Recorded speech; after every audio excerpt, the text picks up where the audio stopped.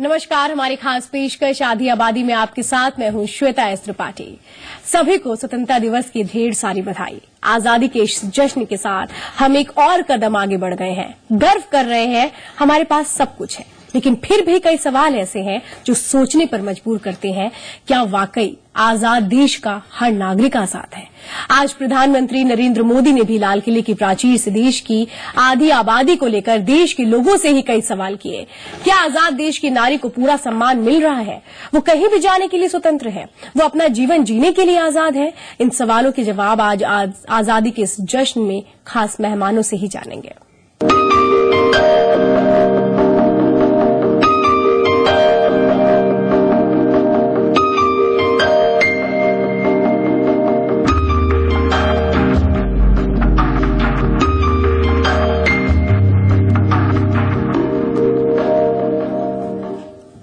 हम आज़ादी की सड़सठवीं सालगिरह मना रहे हैं। खुश हैं, उत्साहित हैं, हर और उमंग है। सब एक दूसरे को बधाइयाँ दे रहे हैं, लेकिन फिर भी कहीं न कहीं ये सवाल आज भी है, क्यों आज़ाद देश की नारी आज भी पूरी तरह आज़ाद नहीं है? गर्व है मुझे, आज़ाद देश की नारी हूँ मैं। पर फिर भी आज़ादी पानी है मुझे। देश को आज़ाद हुए सड़सठ साल हो गए। हम आज़ाद होने की खुशी हर साल मनाते हैं और गर्व भी करते हैं। उन वीर सपूतों को याद भी करते हैं जिन्होंने आज़ादी के लिए अपना सब कुछ न्यौछावर कर दिया। लेकिन क्या सही मायनों में भारत जैसे लोकतांत्रिक देश में सभी आज़ाद हैं?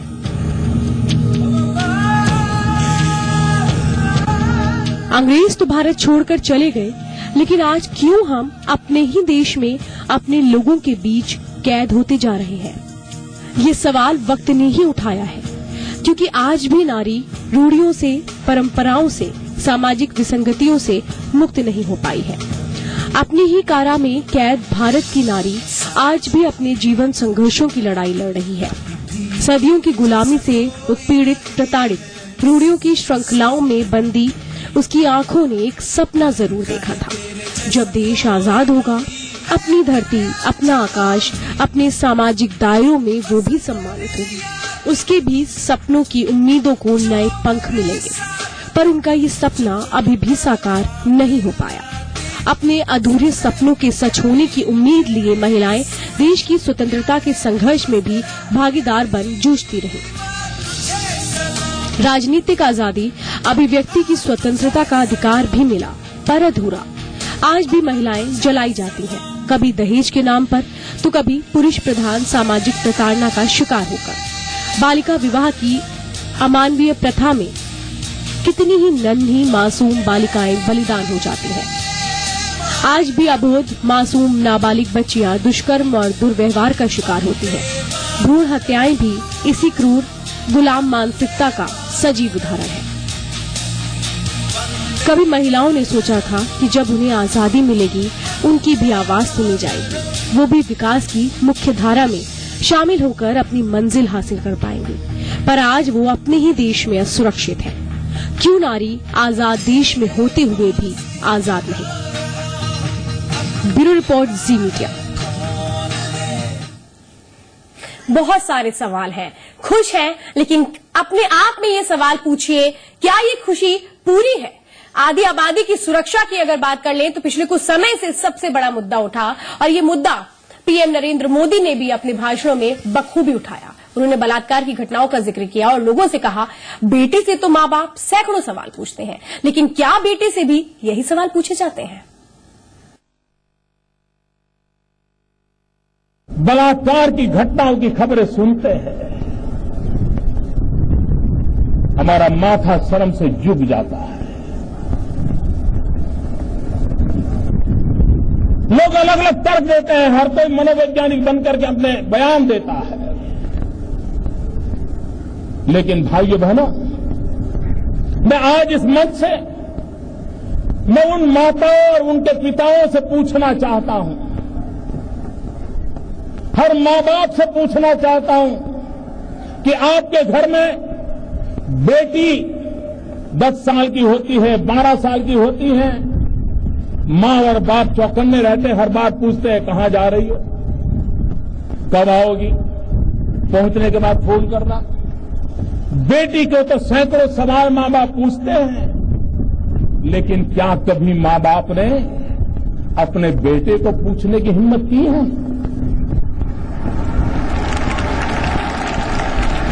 कहाँ जा रहे हो? क्यों जा रहे हो? कौन दोस्त है?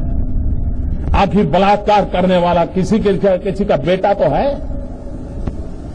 उसके भी तो कोई कोई माँ बाप है। क्या माँ बाप के नाते हमने अपने बेटे को पूछा कि तुम क्या कर रहे हो, कहाँ जा रहे हो? अगर हाँ माँ बाप तय करें तो हमने बेटियों पे जितने बंधन डाले हैं, कभी बेटों पर भी डाल करके देखो तो सही। उसे कभी पूछो तो सही। इक्कीसवीं सदी है, लेकिन आज भी हमारे देश में लड़के और लड़कियों में भेदभाव किया जाता है। प्रधानमंत्री ने अपने भाषण में लिंग अनुपात का भी मुद्दा उठाया और देश से भ्रूण हत्या रोकने की अपील की। क्या कभी सोचा है, आज हमारे देश में सेक्स रेशियो का क्या हाल है? एक हज़ार लड़कों के सामने 940 बेटियाँ पैदा होती हैं। ये समाज में असंतुलन कौन पैदा कर रहा है? ईश्वर तो नहीं कर रहा। है मैं उन डॉक्टरों से अनुरोध करना चाहता हूँ। आपकी तिजोरी भरने के लिए किसी माँ के घर में पल रही बेटी को मत मारिए।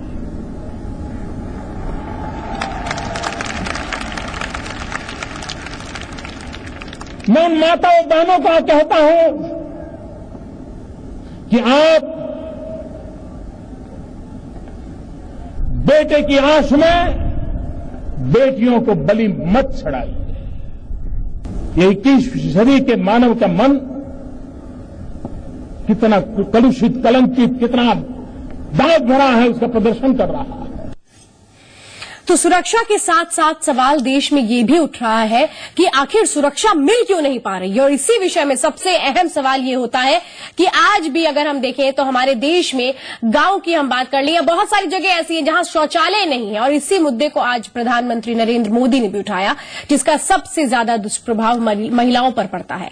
पीएम ने कहा कि इक्कीसवीं सदी में रह रहे हैं और उनके लिए शौचालय भी नहीं बना सकते हैं। इक्कीसवीं सदी में हम जी रहे हैं। क्या कभी हमारे मन को पीड़ा हुई? आज भी हमारी माताओं बहनों को खुले में शौच के लिए जाना चाहते हैं। डिग्निटी ऑफ़ विमेन क्या हम सबका दायित्व नहीं है? बेचारी गाँव की माँ बहनें अंधेरे का इंतज़ार करती हैं। जब तक अंधेरा नहीं आते हैं, जाता है, वो शौच के लिए नहीं जा पाती है। उसके शरीर को कितनी पीड़ा हो गई होगी कितनी बीमारियों की जड़ें उसमें से शुरू होती होगी। क्या हमारी माँ बहनों को इज़्ज़त के लिए हम कम से कम शौचालय का प्रबंध नहीं कर सकते हैं? ऐसे ही कुछ सवालों के जवाब आज हम जानेंगे। आज़ादी के इस जश्न में हमारे साथ खास मेहमानों का पैनल है जिन्होंने न सिर्फ़ ऊंचाइयों को छुआ बल्कि बता दिया आधी आबादी कितनी ताकतवर है। हमारे साथ स्टूडियो में मशहूर कथक नृत्यांगना और पद्मश्री सम्मान से सम्मानित शोभना नारायण जी हैं। शोभना जी बहुत बहुत स्वागत है आपका। बहुत बहुत शुक्रिया। और साथ ही हमारे साथ हिम्मत की मिसाल माउंट एवरेस्ट और एमरूज फतेह करने वाली अरुणिमा सिन्हा जी भी हैं। अरुणिमा बहुत बहुत स्वागत है। जयपुर से हमारे साथ ग्लासगो कॉमनवेल्थ में देश का नाम रोशन करने वाली शूटिंग में गोल्ड मेडलिस्ट अपूर्वी चंदेला भी जुड़ चुकी हैं। बहुत बहुत स्वागत है आपका अपूर्वी। और इंदौर से सिंगर है हमारे साथ प्रीति। धन्यवाद। एक बार फिर से आप सभी का स्वागत करती हूँ। शोभना जी पहला सवाल मैं आपसे करना चाहती हूँ। हम बहुत खुश हैं। एक कदम आगे हम बढ़ गए हैं। आज़ाद देश में हम एक तरह से कहें कि तो सांस ले पा रहे हैं। लेकिन अभी भी आपको लगता है कि वो मंजिल जो हमें पानी थी वो हम पूरी तरह पा चुके हैं। जी नहीं मैं तो ये नहीं कहूँगी कि हम लोग मंजिल पूरी तरह पा चुके हैं। अगर पा चुके होते तो आज हम ये सवाल करते ही नहीं। आ, बहुत तरक्की हुई है आ, आज़ादी मिलने के बाद लेकिन बहुत दूर जाना भी है। और इसमें मैं कहूँगी कि हम जितने भी लोग हैं आ, आ, मर्द हों महिलाएँ हों सबको साथ साथ काम करना है। और उत्तरदायित्व तो शायद महिलाओं का बहुत ज़्यादा है। मैं महिला हूँ और इसीलिए मैं कह रही हूँ कि शायद हम लोग का उत्तरदायित्व तो उतना ही बनता है जितने हमारे लोग मर्द लोग हैं। क्योंकि घर में, घर से ही जो एक मानसिकता, एक प्रवृत्ति है, वो घर के ही माहौल से पहला शिक्षा आरंभ होता है। और वो शायद हम कहें नहीं माँ कहे नहीं कुछ लेकिन उनके हाव भाव उनके आचार विचार जो है वो कहीं ना कहीं वाइब्रेशंस दे देती है और बच्चा उसको तुरंत पकड़ लेता है कि इलेक्ट्रिक वाइब्रेशंस की तरह बिल्कुल। पकड़ लेता।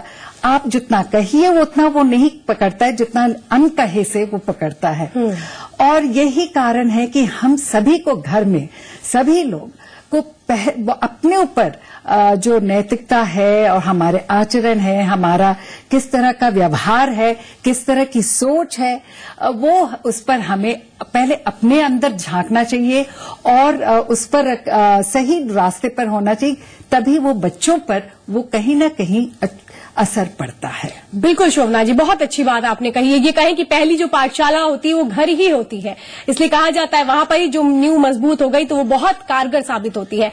अरुणिमा मैं सवाल ये आपसे करना चाहती हूँ। आपने बहुत कठिनाइयों से एक मंजिल मुकाम हासिल किया, और कहीं ना कहीं देश का मान भी बढ़ाया है। लेकिन आपको ऐसा लगता है, आपने देश का मान बढ़ाया, लेकिन आप जब मुसीबत में थी, और एक तरह से संघर्ष कर रही थी, आपको वो हिम्मत और वो हौसला मिल पाया?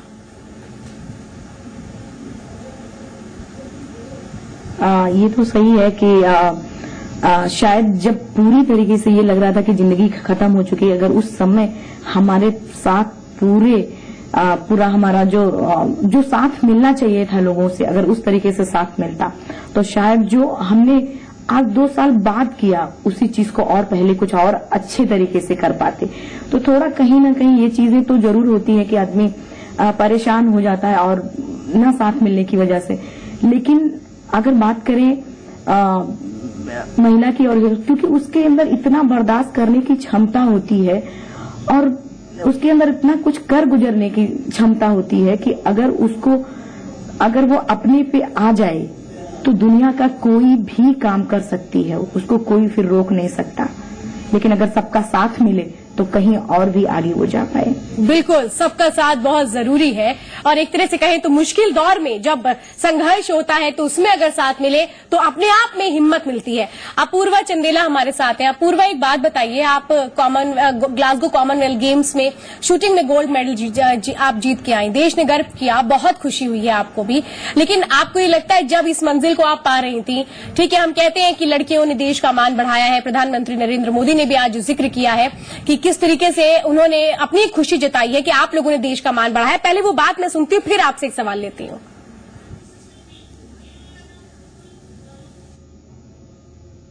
अभी राष्ट्रमंडल के खेल हुए। भारत के खिलाड़ियों ने भारत को गौरव दिलाया है। करीब उनहत्तर जीतने, चौसठ जीतने चौसठ जीतने हमारे खिलाड़ी मेडल लेके आए हैं। लेकिन उसमें उनतीस बेटियाँ हैं, गर्व करें। और ताली बजाइए उन बेटियों के लिए। अपूर्वी, ये बताइए, जब आप जीती, और अभी आपने सुना भी, जब जिस तरह से आप लोगों की प्रशंसा की गई, ये कहा कि बेटियों ने मान बढ़ाया है, तालियाँ बजाइए इनके लिए, उस वक्त कितना गर्व का एहसास हुआ? बहुत ज़्यादा गर्व का एहसास हुआ क्योंकि जो हम मेहनत करते हैं उसकी अगर बढ़ाई हो रही है और प्रसन्नता मिल रही है तो बहुत खुशी की बात है। और मैं चाहती हूँ कि और भी लड़कियाँ हमें देख के आगे आए। बिल्कुल आप यानी कि ये कह रही हैं कि नहीं हिम्मत है आप भी आगे आइए। एक मिसाल कायम आपने ज़रूर की है पूर्वी आऊँगी आपके पास। प्रीति है हमारे साथ। प्रीति आप बहुत छोटी हैं ये बताइए आज़ादी के इस जश्न को आप मना कैसे रही हैं आज आ, अपने परिवार के साथ मना रही हूँ। आज बहुत खुश हूँ क्योंकि हमारे आज 68 अड़सठ पूरे हुए हैं। इस दिन को कुछ सुनाना चाहेंगी प्रीति? आज हम आज हमें बहुत हाँ मैं बिल्कुल आपको एक गीत सुनाना चाहूँगी। जी। वंदे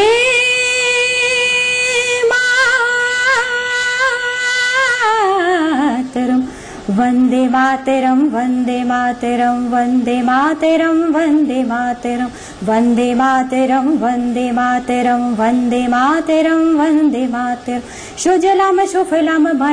शीतलां शस्यश्यामलां मातरं वन्दे मातरं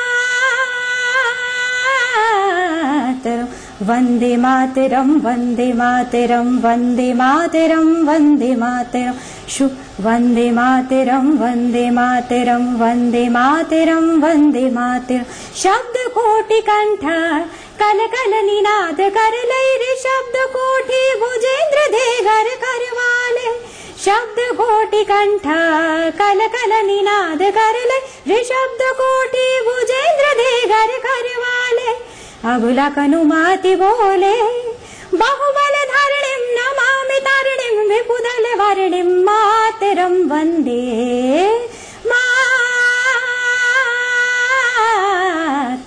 वन्दे मातरम् वन्दे मातरम् वन्दे मातरम् वन्दे मातरम् मा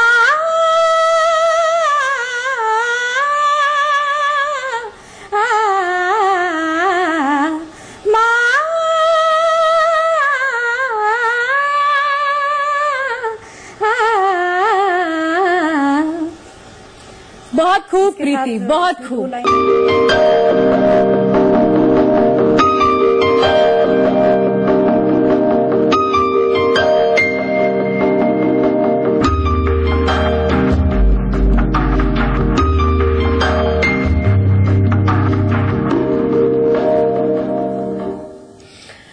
आधी आबादी में आज हम खास तौर पे बात कर रहे हैं कि आज़ाद देश में किस तरीके से क्या पूरी तरह से आज़ाद है आज की नारी? आधी आबादी को आगे बढ़ाने की बात होती है, एक तरह से हौसले की बात होती है, लेकिन फिर भी कुछ सवाल क्यों अब भी बरकरार है? और वो लगातार ये बात और दर्शाते हैं कि क्या सही मायनों में ये आज़ादी, आधी आबादी की पूरी आज़ादी है।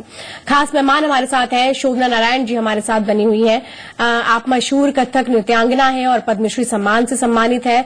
और साथ में माउंट एवरेस्ट और एम्ब्रूज फतेह करने वाली अरुणिमा सिन्हा हैं। जयपुर से ग्लासगो कॉमनवेल्थ गेम्स में देश को शूटिंग में गोल्ड मेडल दिलाने वाली अपूर्वी चंदेला हैं और इंदौर से सिंगर प्रीति हैं। शोभना जी मैं थोड़ा ये जानना चाहूँगी क्योंकि कथक यानी किसी का नाम याद आता है तो शोभना नारायण आज़ादी के इस जश्न को अगर हम भाव भंगिमाओं से समझने की कोशिश करें तो उसको कैसे समझ सकते हैं? देखिए बहुत अगर आप पूछे कि आ, कैसी रही आज़ादी तो एक है कि एक तो खुश हुए कि एकदम आज कितना दिन एक खुशी फूट रही है। एक है कि हम उस पर सोच रहे हैं एक इंट्रोस्पेक्शन है कि क्या हम सचमुच आज़ाद हैं? क्या हम अपने अंदर के जंजीरों से में हम अभी भी जकड़े हुए हैं कि उससे छुटकारा पा चुके हैं? वो एक इस और वो संगीत छुटकारा पाने के जो जंजीर जो हमें अंदर जक, जकोड़ रही है उससे छुटकारा पाना वो संगीत तो हमारे वो शक्ति हमारे अंदर है और अगर उस शक्ति को हम निकालते हैं तो जीवन संगीतमय हो जाती है खुशनुमा हो जाती है और हम फिर वैसे ही वो आँखों में आशाएँ लेकर के हम आगे बढ़ सकते हैं। बहुत खूब शोभना जी बहुत खूब। वाकई एक तरीके से ये कहें कि जो चीज़ हम जीते हैं वो हमारे पूरी तरह से कहें तो आभा मंडल में हमारे पूरे व्यक्तित्व में दिखता है। लेकिन शोभना जी एक सवाल और भी यहाँ शायद बहुत कम दर्शकों को चीज़ें पता होंगी कि आप जिस मंजिल पर पहुँची जिस मुकाम पर पहुँची वो इतना आसान नहीं था। किस तरह की चुनौतियाँ थी? बहुत सारी चुनौतियाँ थी क्योंकि हाँ, वैसे तो मैं पोस्ट आज़ादी की जन्मी हुई हूँ। लेकिन फिर भी उस जमाने में अगर किस, किसी ने कहा कि हम क्लासिकल डांसर बनना चाहते तो समाज वो डांस को बहुत अच्छी तरह नहीं देखते थे। तो ज़ाहिर है कि समाज में बहुत लोग आलोचक थे कि लड़की को नहीं करना चाहिए। लेकिन घर से शक्ति मिली और अपने अंदरूनी भी शक्ति थी। दोनों ही था। और उससे आगे बढ़े तो अगर आप अपने आप, कोई भी प्रोफेशन माँ हमेशा कहती थी कि कोई भी प्रोफेशन गलत नहीं है, आप किस तरह से उस प्रोफेशन को आपकी डिग्निटी आपका काम, आपकी चर्या जो है, उस प्रोफेशन को डिग्निटी देगी या नहीं देगी? तो वो और अपने, और वो सच्चाई के साथ, गहराई के साथ। और वही शायद जीवन में एक रहा और जब मेरे पिताजी का भी देहांत एक ट्रैजिक ट्रेन एक्सीडेंट में हुआ तो शायद वही थे वो घर में जो एक जो अन कहे हुए एक वो शिक्षा मिली थी वो शक्ति थी हम दोनों बहनों में कि मैं खुद उनकी लाश को लेकर आई पोस्टमार्टम कराया और अग्नि दिया और ये मैं आज की बात नहीं कर रही हूँ 1977 की बात कर रही हूँ वाकई। तो फिर ये बातें मह- अपने माहौल तो है ही है लेकिन घर में है। अभी आपने भ्रू हत्या की चर्चा कर रही थी। मैं उसमें कहना चाहती हूँ कि शायद उसमें आज भी भागीदार हम महिलाएँ हैं। और मैंने एक बहुत सा, साल पहले एक किया था कार्यक्रम जिसमें एक भ्रू पुकार रही है माँ मुझको भी तो जीने दो। मीठा कड़वा जैसा भी हो, जीवन रस तो पीने दो, माँ मुझको भी तो जीने दो, माँ मुझको भी तो जीने दो। बहुत खूब। वाकई, ये कहें तो जो एक एहसास होता है इन बातों का, वो महिलाएँ भी बखूबी और बहुत अच्छी तरीके से बता सकती हैं। शोभना जी जिस तरीके से हमें तमाम चीज़ों को बता भी रही हैं, उनका खुद का भी एक अपना अनुभव रहा है संघर्ष का, कैसे उन्होंने उस दौर में अपने आप को आगे बढ़ाया, जैसा उन्होंने खुद कहा, जब कहा जाता था, कहाँ बेटी इस जगह पर जा रही है। लेकिन आज सबको उन पर नाज है। लेकिन ऐसा क्यों होता है जब कुछ करने के लिए हिम्मत बढ़ती है तो उसके पहले पहले आलोचनाएँ शुरू हो जाती हैं। अरुणिमा जी के साथ भी कुछ ऐसा ही हुआ। उनसे ही हम जानेंगे कैसे अपनी हिम्मत को उन्होंने बनाए रखा।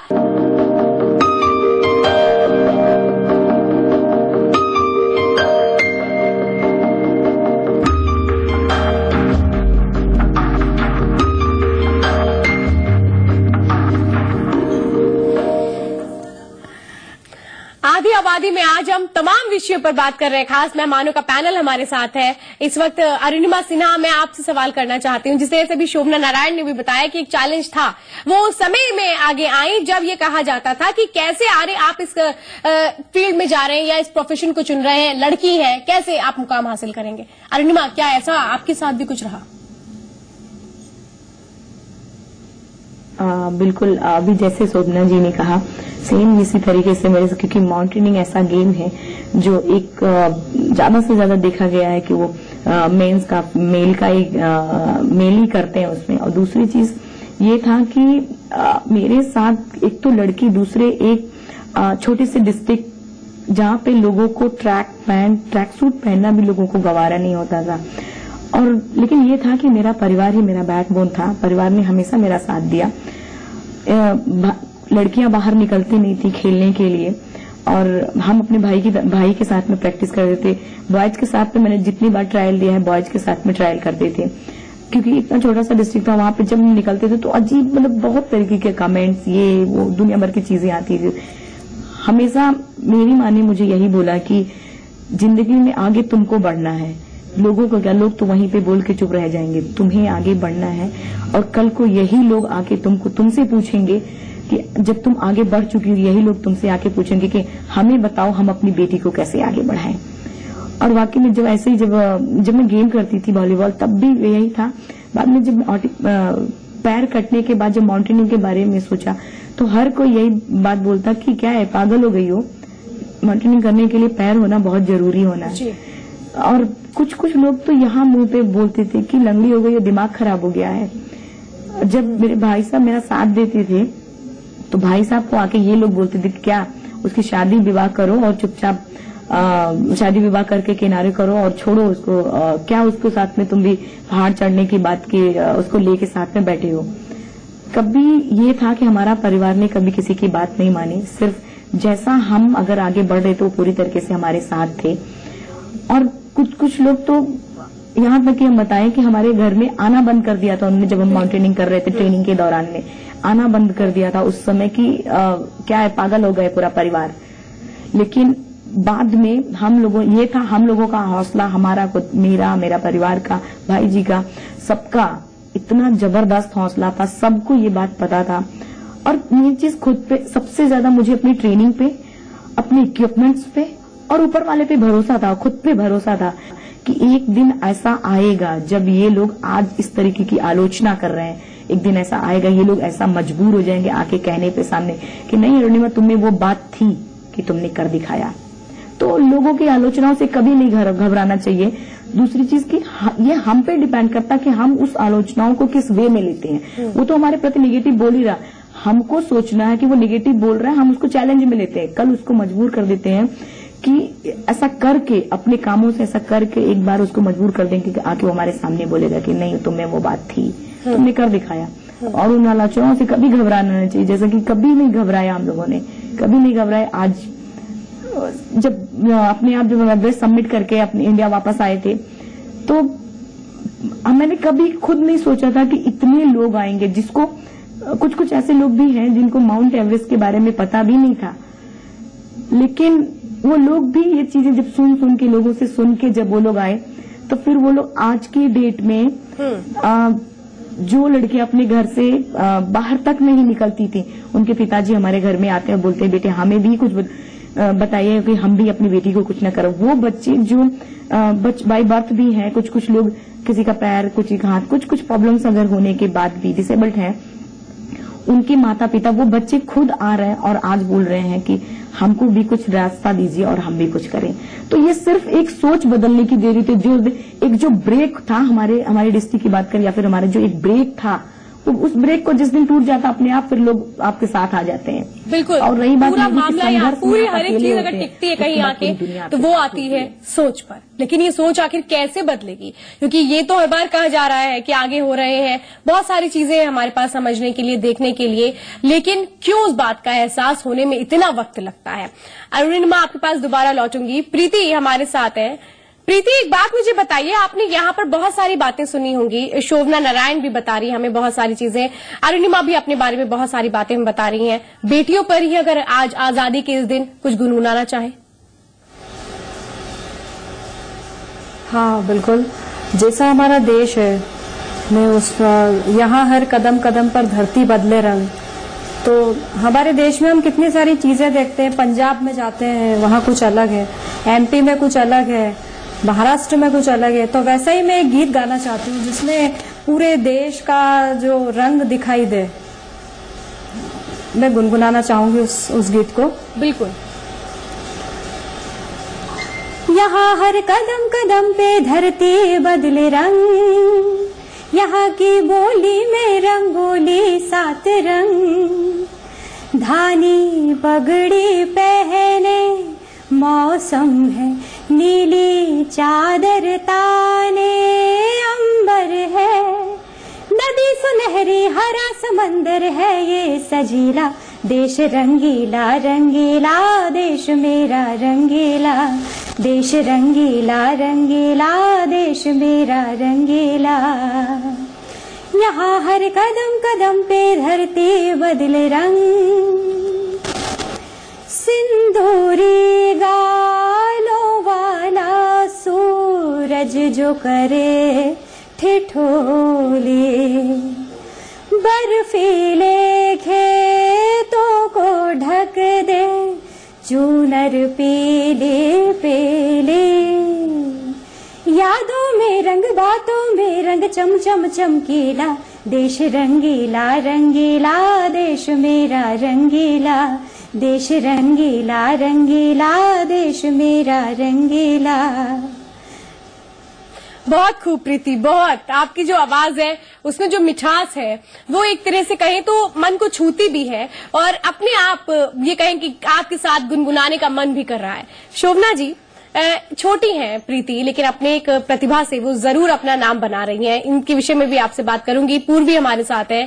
पूर्वी, एक बात मुझे बताइए कि जब आपने सोचा कि शूटिंग में आना है आपको और इस तरीके से आपको पार्टिसिपेट भी करना है, अपने आप को तैयार भी करना है, कितना सपोर्ट आपको सोसाइटी का मिला? जी, मैं जिस सोसाइटी से आती हूँ, वहाँ इतना मानते नहीं है कि लड़कियों को बढ़ावा दें या फिर इतना जैसे शूटिंग जैसे गेम में डालें, क्योंकि हमेशा समझते हैं कि आदमियों का गेम है। पर मेरे परिवार से मुझे बहुत सपोर्ट मिला था। मेरे माता पिता ने हमेशा मुझे इनकरेज किया कि आगे बढ़ूँ मैं। और उसी से मैं आगे बढ़ी हूँ। आज मैं, जो दर्शक देख रहे होंगे, उनको भी यही कहना चाहती हूँ कि अपने बच्चों को हमेशा आगे बढ़ाएँ और पूरा सपोर्ट दें उन्हें। बहुत ज़रूरी है। बिल्कुल। शोभना जी, एक बात मुझे बताइए कि हम बेटियों पर जब बात करते हैं, इतनी सारी चीज़ें देखने को मिलती हैं कि लगता है कि नहीं, ये किस मायनों में पीछे हैं? लेकिन अगर हम फिर भी देखें तो कन्या भ्रूण हत्या जैसे मामले हमारे देश में ही हैं। सबसे ज़्यादा कंडीशन इतनी वर्स्ट हो चुकी है कि अगर आंकड़ों की बात करें 2011 के जो आंकड़े थे, वो 1000 लड़कों पर 927 थे, लेकिन अब ये इस साल घटकर 919 रह गए क्यों ऐसा हमें देखने को मिलता है? सबसे पहले भ्रू हत्या के पर बाद में आऊँगी लेकिन मैं इन हमारी जितने भी इस प्रोग्राम में जो लड़कियाँ हैं उनको मैं बधाई देना चाहती हूँ। आ, हमारे शूटर जो, जो गोल्ड मेडलिस्ट हैं हमारी माउंटेनियर और हमारी जो एक और मेहमान हैं जो बहुत अच्छा गाती हैं सभी को मैं बहुत बहुत बधाई देना चाहती हूँ। और मुझे उम्मीद है कि इन इन लोग जो है हमें बहुत हमारे देश का नाम और भी ज़्यादा रोशन करेंगे। अब आई भ्रू हत्या की बात। इसमें जैसे कि मैंने थोड़ी देर पहले कहा कि इसमें बहुत ही शर्मनाक चीज़ है कि आज जो है हमारी जो आंकड़े हैं इतनी लॉपसाइडेड हो रही है। और इसमें आ, उसमें एजुकेटेड हो ये सिर्फ़ नहीं है कि इलिटरेट और अनएडुकेटेड हैं। हमारे यहाँ जो है अच्छे संपन्न परिवार के लोग भी इस आ, इसके आ, ये आ, कहीं ना कहीं देखा जाता है उनके परिवारों में। और ये एक सोच की बात है। और हमें जो है औरतों को इस पर ध्यान देना चाहिए, क्योंकि वही माँ है, वही सास है, वही बहू है, वही बेटी है। अगर वो इस तरह से भ्रू हत्या करती जाएँगी तो कल समाज में इतना असंतुलन हो जाएगा कि हम आगे समाज कैसे बढ़ेगा। और वो फिर जब हम इम्पोर्ट कर रहे हैं लड़कियाँ सिर्फ़ एक एक नेचुरल चीज़ इसके लिए भी तो फिर वो एक अलग किस्म की एक आ, आ, एक और प्रॉब्लम्स हम क्रिएट कर रहे हैं। सामाजिक प्रॉब्लम क्रिएट कर रहे हैं क्योंकि हम उनको चाइल्ड बेयरिंग मशीन की तरह देख रहे हैं और एक नौकरानी की तरह देख रहे हैं। तो आ, ये आ, शायद सबसे पहले हमें अपने अंदर झाँक करके देखना चाहिए और हम औरतों को औरतों को एक मजबूती के साथ एक स्टैंड लेना चाहिए, क्योंकि वही औरत है वो अगर घर कुछ भी हो जाए, मिट जाता है, लेकिन औरत में इतना शक्ति है कि वो अकेले ही घर को संभाल सकती है। जब उनमें इतनी शक्ति है तो कहाँ गई ये मानसिक प्रबलता? तो ये हमें देखना है, क्योंकि उन्हीं का आचरण जो है, घर में जो छोटे लड़के पैदा पल रहे हैं उन पर वो एक कहीं ना कहीं मेंटल इन्फ्लुएंस होता है। और वो इंटेंजिबल जो इन्फ्लुएंस है वही बाद में जाकर के एक एक अलग रूप ले लेता है। तो अ, बहुत ही एक विशेष सर्कल है जिसमें हम सब भागीदार और हमें रिकग्नाइज करना चाहिए। अपने आप से एक ऑनेस्टी के साथ हमें रिकग्नाइज करना चाहिए कि हम नारी भी इसमें उतना ही भागीदार है बिल्कुल। जितना अ, समाज में और लोग। बिल्कुल ये सवाल मैं करना भी चाह रही थी। अपूर्वी आपसे एक सवाल ये करना चाहती हूँ मैं आपसे कि एक बात मुझे ये बताइए कि यहाँ पर बहुत इंपॉर्टेंट ये हो जाता है कि खुद को तो आप एक कामयाबी के मुकाम तक पहुँचा रहे हैं मौका जिनको मिलता है वो। लेकिन आपको नहीं लगता कि अपने साथ हमें बाकी ऐसे लोगों को भी जोड़ने की कोशिश करनी चाहिए खासतौर पर उन महिलाओं या लड़कियों को जो हमारी तरह कोशिश करना चाहती हैं लेकिन कहीं ना कहीं मुश्किलों का सामना करती हैं? जी, बिल्कुल, क्योंकि बहुत ज़रूरी है आज के ज़माने में आगे बढ़ना। और मैं यही कहना चाहूँगी कि जैसे मैं लड़की हूँ, मैं आगे बढ़ी हूँ, मैं चाहती हूँ कि जितने लोग मेरे को देख के आगे बढ़ पाए, उससे मुझे बहुत खुशी होगी मैं ज़्यादा इंटरव्यूज़ वगैरह भी इसीलिए देती हूँ ताकि और बढ़ावा दे पाऊँ लड़कियों को। और यही है कि बस आगे बढ़े वो भी, और सोसाइटी से डरे नहीं। और जो सब कहते हैं कि महिला नहीं कर सकती, ऐसा कुछ नहीं है। आज के ज़माने में सब एक बराबर है और महिलाएँ बहुत अच्छा कर रही हैं अपने हर फ़ील्ड में। तो नारी शक्ति जैसे कहते हैं, बस उसका, उसके साथ आगे बढ़ते रहे। बिल्कुल। अरुणिमा, एक बात मुझे बताइए कि ये एक बहुत महत्वपूर्ण विषय है कि अगर आधी आबादी को खुद सशक्त तो हो रही है, लेकिन अगर पूरी तरीके से ये कहें कि कहीं भी कोई भी अधूरापन न रह जाए, इसके लिए आधी आबादी को ही अब जिम्मा भी उठाना पड़ेगा। हाँ बिल्कुल सही है। सबसे अगर, देखिए, अभी जैसे अभी भ्रूण हत्या पे भी आपने अभी थोड़ी देर पहले मैंने सुना आप लोगों को। देखिए, जो बीत गया, उस पे रोना लेके बैठने से कुछ होने वाला नहीं है। हमें आज का युवा वर्ग पे पूरा पकड़ बनानी है। हम जो युवा आज जो हमारे साथ यहाँ प्रोग्राम में है, या फिर जो आज हमें देख रहे हैं, यही हमारे आने वाले, हम ही सब आने वाले फ्यूचर है। जो भी भूण हत्याएँ जो थी चाहे अनएजुकेटेड के कारण, चाहे बिना पढ़े लिखे के कारण हो रही थी, या फिर पैसे की वजह से, या फिर किसी भी चीज़ की वजह से जो भी हो रही थी, वो तो बीत चुका है। लेकिन बात करें अगर आज की, सबसे ज़्यादा ज़रूरी है कि आज का युवा वर्ग बदल जाए क्योंकि आने वाला फ्यूचर वही है।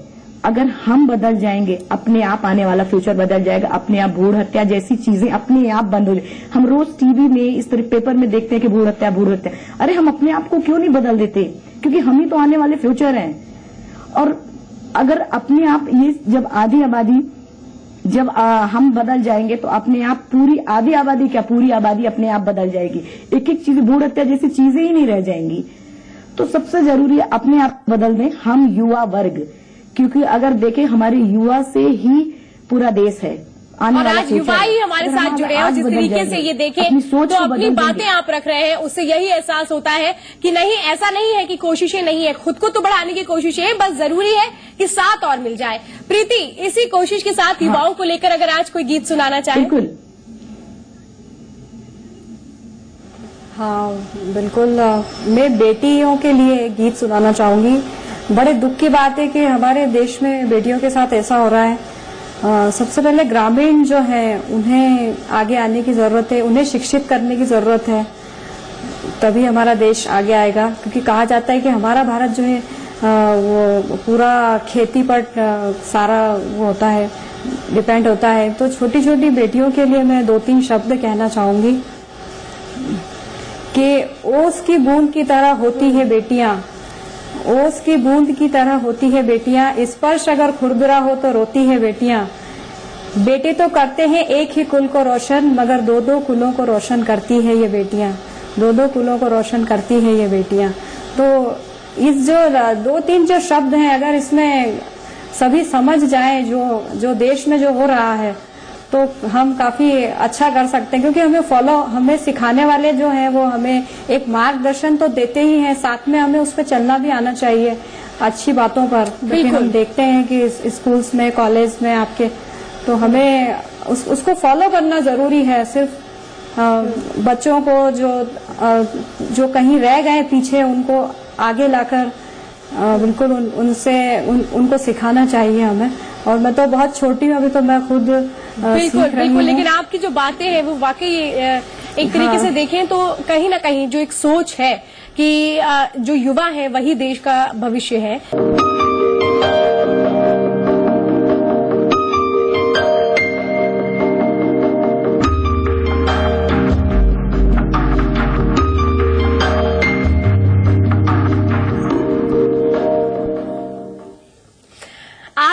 आबादी में आज हम बात कर रहे हैं कि आधी आबादी को किस तरीके से तमाम चीज़ों से बंदिशों से परंपराओं से और एक तरह से कहें कि अ, वो उन तमाम चीज़ों से आज़ादी मिले मिल पाएगी जिन चीज़ों पे आज भी वो जकड़ी हुई महसूस करती हैं। लगते लगातार अपराध बढ़ता चला जा रहा है। अगर कुछ नया करने की सोचते हैं तो उसमें भी कई बातें सामने निकल कर आती हैं कि ये कैसे हो पाएगा? क्या अगर इन सवालों को ही देखें तो ये नहीं कह सकते कि क्या वो पूरी चीज़ें हो चुकी हैं। आज़ादी की जो सही मायने हैं, पूरी तरीके से वो आधी आबादी के लिए हो चुके हैं। शोभना नारायण जी हैं, इनसे मैं समझना चाहूँगी। शोभना जी बात मुझे बताइए। आप बहुत सारे लोगों को, बहुत सारे बच्चों को ट्रेन भी करती होंगी और वो आपके पास आके बहुत सारी चीज़ें सीखती भी होंगी। क्या आपको ऐसा लगता है कि वो खुद तो आगे आना चाहती हैं, लेकिन कहीं ना कहीं वो मुश्किल है कि आगे आने की मंशा है, लेकिन कैसे आगे आए, वो नहीं तय हो पाता। जी, बिल्कुल। वो रास्ता तो उन्हें खुद ढूंढना पड़ता है। हर एक व्यक्ति को, हम लोग सभी लोग सभी को अपना रास्ता ढूंढना पड़ता है, लेकिन उसके साथ साथ अपने ऊपर एक कॉन्फिडेंस होनी चाहिए और एक एकाग्रता चित होनी चाहिए कि हम इस रास्ते पर हैं। और और शॉर्टकट्स ना लेना चाहिए। अगर शॉर्टकट लिया तो वो बुलबुले के, के हंसती अपनी हबाबकी से ये नुमाइश शराब के। फिर वो जो पूरी नुमाइश है वो शराब है वो मिराज हो जाती है। तो वो शॉर्टकट्स ना लें।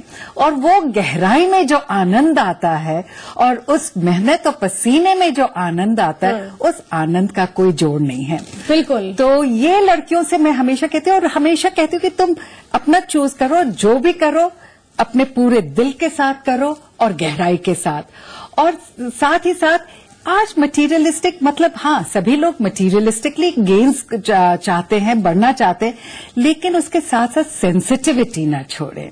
वो एक दूसरे के लिए सद्भावना ना छोड़ें। आत्मीयता को ना अपने से दूर करें। जी, बिल्कुल। अरुणिमा आज का खास दिन है। क्या मैसेज आप देना चाहेंगी आप अपनी जैसी अ, बहुत सारी लड़कियों को और आधी आबादी को? आज के दिन आ, सबसे बढ़िया कि जो आज के लोग जो आ, हाथ में झंडा मतलब अपना तिरंगा ले लेने से सेलिब्रेट करना ही नहीं होता आज के दिन हर आदमी एक निश्चय ले अपने आप में कि क्योंकि आपका देश है ये एक निश्चय लीजिए आप सभी लोग कि आपके आसपास जैसे एक क्या करते हैं हम चॉकलेट्स खाते हैं रैपर वहीं हाँ। पे फेंक दिया कुछ भी अपनी जिम्मेदारी- कहीं भी कुछ गलत होता हम देखते हैं, भी समझनी पड़ेगी ज़िम्मेदारी और चले जाते हैं। जी, जी। बिल्कुल। यानी ज़िम्मेदारी को ही समझना पड़ेगा ये कहीं ना कहीं ज़रूरी है। कुछ गलत होता अपूर्वी भी अपूर्वी क्या मैसेज आप देना चाहेंगी? हाँ मैं यही मैसेज देना चाहूँगी कि लाइफ में एक डिसिप्लिन बना के चले और अन्य नागरिकों की हेल्प करें और जैसा कि ये कह रहे हैं अभी कि सफ़ाई रखें पूरे देश की क्योंकि हमारा ही देश है और मैं यही कहना चाहूँगी कि एक ड्रीम हर बच्चे में होता है वो वो पकड़ के चले और जो भी मेहनत हो उसको हासिल करने में वो हासिल करे। क्योंकि जैसे मैं अभी वहाँ कॉमनवेल्थ में थी और झंडा ऊपर जाते हुए देखा वो जो फीलिंग थी जब नेशनल एंथम बज रहा था और रोंगटे खड़े हो गए थे वैसी फीलिंग अगर सबको एक बार एक्सपीरियंस करनी चाहिए। बिल्कुल। प्रीति ए, आ, मैं आप एक तरीके से ये कहूँ कि हमारे साथ शोभना जी हैं। तमाम तरह की हमने भाव भंगिमाएँ समझी। लेकिन आ, जाते जाते एक मधुर गीत के साथ आ, शोभना जी की कुछ और कलाओं को भी हम समझने की कोशिश करते हैं। हालाँकि वक्त बहुत कम है जानने के लिए बहुत कुछ है। प्रीति आपसे ही गुजारिश है कोई गीत गाइए। शोभना जी आपसे मैं रिक्वेस्ट करती हूँ कि हमारे दर्शकों को आप अपनी यहीं पर जो एक आपको सब पहचानते हैं जानते हैं लेकिन उस कला को हम थोड़ा और देखना चाहेंगे। ज़रूर ज़रूर। जी बिल्कुल।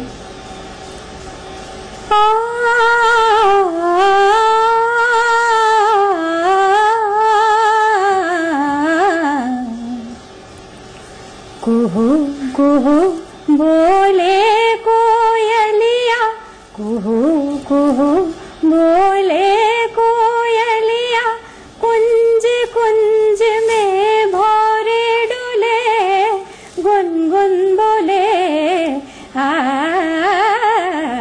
कुहू कुहू बोले कोयलिया सज सिंगार ऋतु आई बसंत आ जैसे नार कोई हो रसवंते सनि धम धनि सा गम धम धम धनि सा रे सनि सनि सा रे सनि सा रे सनि धनि नि धनि नि धनि मद ध मद ध मद गरि गम धनि सज सिंगार ऋतु आई बसंते जैसे नार कोई हो रसवंते डाले डाले कलियों को तितलियाँ चूमे फूल फूल पंखड़ियाँ खोले अमृत घोले आ कुहू कुहू बोले खूब बहुत खूब शोभना जी और बहुत खूब प्रीति। ये कहें कि वाकई आज़ादी के इस जश्न में आज जिस तरीके से ये गीत हुआ और जो एक हमें देखने को मिला कला का एक बहुत बेहतरीन उदाहरण शोभना जी के ज़रिए उसने और भी ज़्यादा उत्साह को बढ़ा दिया। आप सभी खास मेहमानों का इस खास कार्यक्रम में अपनी बात रखने के लिए और इस दिन को और खास बनाने के लिए बहुत बहुत धन्यवाद। तो आधी आबादी में कई सवाल हमने उठाए हैं। सवाल यही है कि क्या आज़ाद भारत की नारी पूरी तरह आज़ाद है? उम्मीद यही करते हैं। अब अगली बार जब आएँगे तो ये कहेंगे हाँ पूरी तरह से आज़ाद है। आज के लिए इतना ही। मुझे दीजिए इजाज़त। नमस्कार।